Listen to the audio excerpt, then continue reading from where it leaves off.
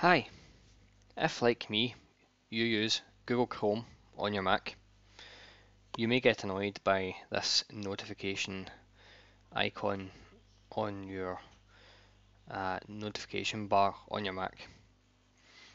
Um, it does bring up notifications for email, calendar, and everything else, but for me, pretty much the same as the standard mail and calendar apps do.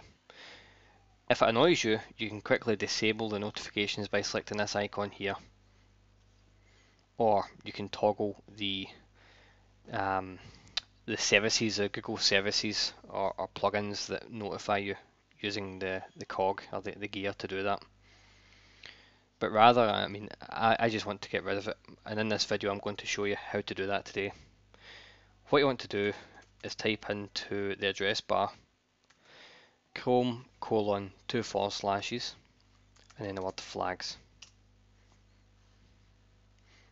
Don't worry too much about the um, the warning message you get here. If you make changes and anything goes wrong, bring the page up again and select the option to reset all to default. When you're on this page, hold command and press F and type in notification. And there's actually two of these options we're going to disable. If you scroll down and look for Google Now and disable that. Then scroll down a little more and find Notification Center Behavior and then Never Show. You can see that the icon still shows. Select option down the bottom to relaunch now. Chrome will close and open again and the notification icon is now gone from your Mac taskbar.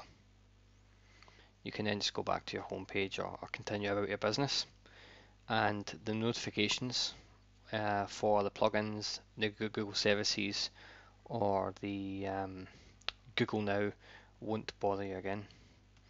If you have any questions, please let me know. Thanks for watching.